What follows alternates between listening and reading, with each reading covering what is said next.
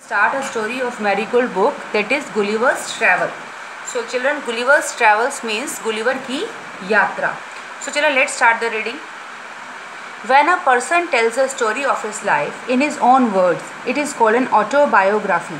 जब कोई पर्सन अपनी लाइफ की स्टोरी अपने वर्ड में सुनाता है तो उसको क्या बोलते हैं ऑटोबायोग्राफी ऑटो मीन्स अपनी और बायोग्राफी लाइफ की story Gulliver's a sailor was once caught in the land of giants Gulliver जो कि एक अ सेलर मीन्स नाविक, जो कि एक नाविक था was once caught in the lands of giant वो एक बार पकड़ा गया जाइंट्स का मतलब दानव। दानव के लैंड में पकड़ा गया। This is how he describe his experience अब हम देखते हैं वो अपना एक्सपीरियंस कैसे डिस्क्राइब कर रहा है। So children on the sixteen of June seventeen thirty we discovered land our captain sent a dozen man with vessel for water if any could be found sixteen June seventeen thirty की बात है कि we discovered land हमको एक land मिला। Our captain हमारे captain ने sent a dozen man कम से कम एक डजन मैन को एक डजन आदमियों को पानी लेने के लिए भेजा बर्तनों के साथ। मतलब उनको एक वेसल्स दे के पानी लेने के लिए भेजा if any could be found कि कहीं भी अगर पानी मिल जाए तो पानी लेके आओ।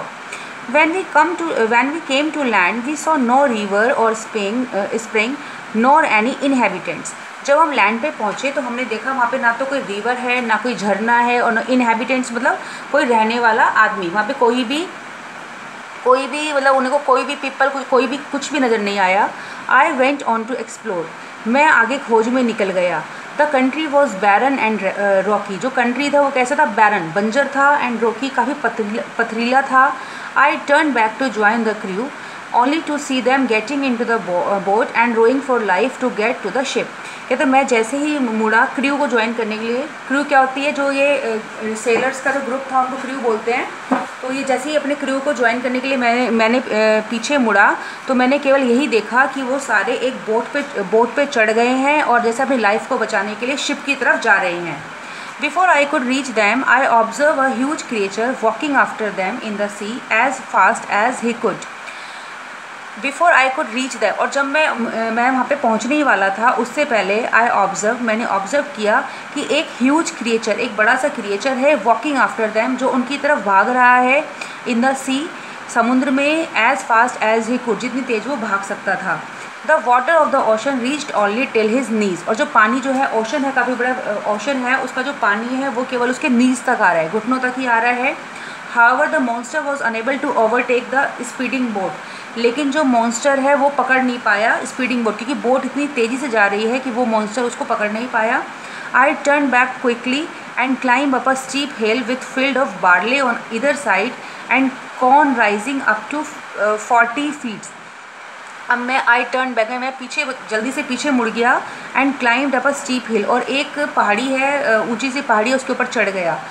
With field of barley on either side. उस पहाड़ी के दोनों तरफ़ जो है, बारले के फ़ील्ड खेत खेत हैं and the corn rising up to forty feets और जो कॉर्न जो मक्का लगी हुई है, उस पर फोर्टी फीट्स मतलब फोर्टी फीट्स तक जो जो कॉर्न की जो ऊंचाई है, वो फोर्टी फीट्स है। इतनी ऊँची मक्का लगी हुई है। There was a fence to pass from one field to other और वहाँ पे एक फैंस है, वहाँ पे एक बाउंड्री बनी हुई है, जिसमें जो एक फ़ील्ड से दूसरे फ़ील्ड की तरफ़ जाती है।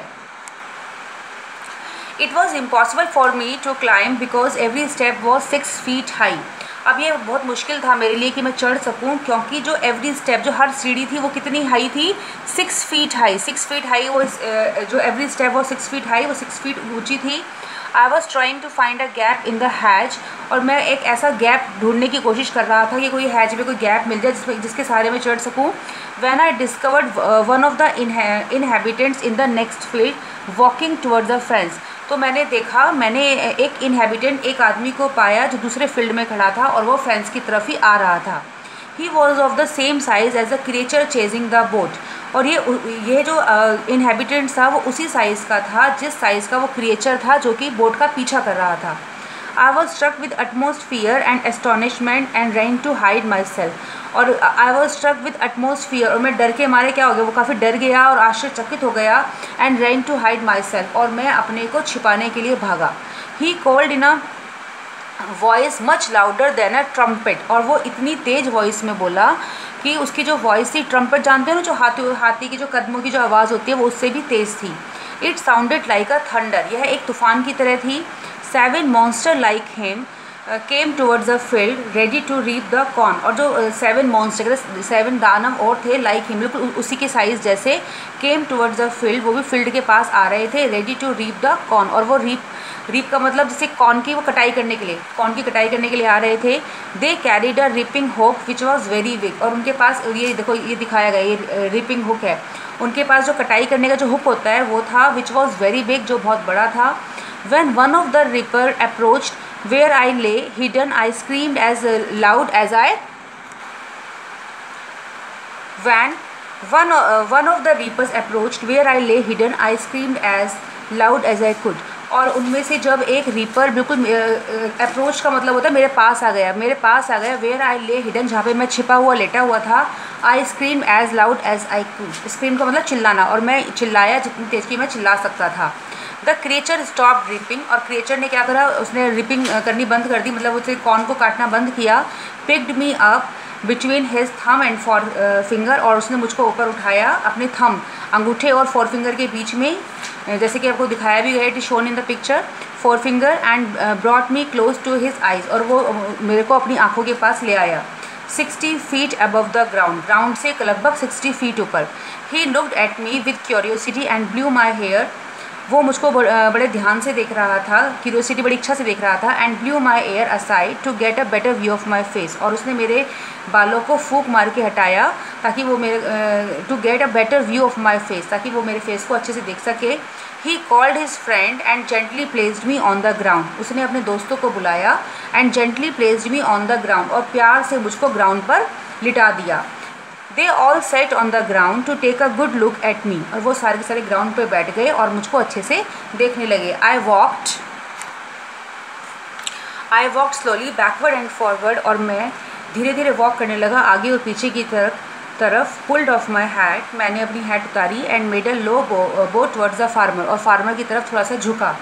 I try to speak to them loudly in several language और मैं उनसे बोलने की कोशिश कर रहा था चिल्ला के इन सेवरल लैंग्वेज अलग अलग भाषाओं में।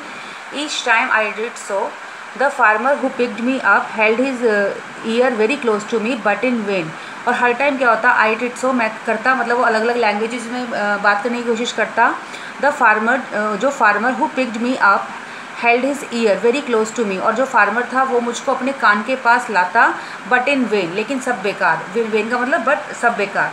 The farmer took me to his house and places me at some distance on the dining table अब फार्मर ने क्या किया?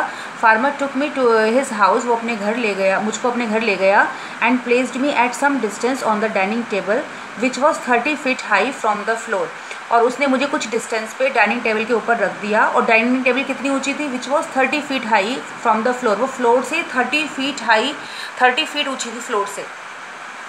Dinner was brought for the farmer in a dish which was ten feet in diameter अब जो dinner था, वो farmer के लिए लाया गया एक बर्तन में जो डिश थी ना, वो डिश जो थी, वो टेन फीट इन डायमीटर उसकी जो डायमीटर थी फीट की डिश की, वो टेन टेन फीट थी। मतलब कि कितनी बड़ी वो डिश होगी। The farmer's wife crumbled some bread and places it before me अब फार्मर की वाइफ ने क्या किया? ब्रेड्स के कुछ ब्रेड के कुछ पीसेस किए and places it before me और मेरे पास रख दिए। In the middle of the dinner I heard a noise behind me और डिनर के बीच में मुझको एक आवाज़ सुनाई दी बिहाइंड मी अब मेरे पीछे से मुझको एक आवाज़ सुनाई दी। It was a purring of a cat that was ten time larger than an ox और वो कैट की म्याओ म्याओ जैसे करती है ना, उसकी आवाज़ थी जो, और वो कैट क्या थी? Ten times larger than an ox और कैट इतनी बड़ी थी कि जो ऑक्स होती है ना, जो ऑक्स होती है, उससे टेन टाइम्स लार्जर थी। The farmer wife was stroking him और फार्मर वाइफ उसको क्या कर रही थी? स्ट्रॉकिंग का मतलब सहला रही थी उसको। Then enter the farmer's one year old son in the arm of a lady उसके बाद क्या हुआ? देन एंटर उसके बाद फार्मर का एक साल का बेटा, जो कि किसी लेडी के हाथों में था, उसने एंटर किया on seeing me the child grab me और मुझको देखकर child grab me from the table and put my head into his mouth अब चाइल्ड ने क्या क्या ग्रैप कर लिया? उसको मतलब कि अपने मुँह के अंदर ले लिया फ्रॉम द टेबल टेबल से and put my head into his mouth और मेरे जो हेड को उसने अपने मुँह के अंदर ले लिया। I shouted so loudly that the baby drop me मैं इतनी तेज चिल्लाया कि बेबी ने मुझे नीचे पटक दिया। I would have broken my neck if the mother had not held her apron under me मेरी तो गर्दन बिल्कुल टूट जाती। अगर वो, अगर उस बच्चे की मदर अपना एप्रन मेरे नीचे नहीं रखती। Later she put me on our on bed उसके बाद वो मुझको अपने बेड पे ले गई and covered me with a clean white handkerchief और मुझको उसने एक सफ़ेद रंग के साफ़ से हैंकी से मुझको कवर किया मतलब कवर हैंकी से कवर हो गया, वो इतना छोटा है। I slept dreaming of my home my wife and my children और मैं सो गया और अपनी वाइफ और अपने बच्चों के सपने देखने लगा। So children the story is completed here